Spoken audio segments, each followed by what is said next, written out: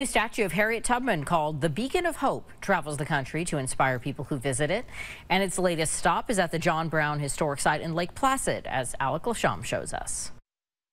Just that one statue really uh, gave me a lot of sort of educational experience and also emotional experience. Bill Ferns is among the many visitors to the John Brown Farm State Historic Site, witnessing the Beacon of Hope Harriet Tubman statue for the first time. Brown was an abolitionist who historians say shared a vision of a country free of slavery, just as Tubman. They fought for um, the end of slavery in the United States, and also they both aided um, uh, fugitive enslaved persons escaping. Uh, through the Underground Railroad through this area into Canada. Brown and Tubman were good friends and at one point had tried to convince Tubman to join him at the raid of Harper's Ferry. Brown called her his general uh, and uh, he had hoped that she would participate in the raid. And there's some question as to whether he jumped the gun and uh, went ahead with the raid a couple weeks earlier than he was supposed to, or that Harriet Tubman was ill and couldn't travel. Brendan Mills is the site manager at the John Brown farm and says after Brown's execution due to the Harper's Ferry raid,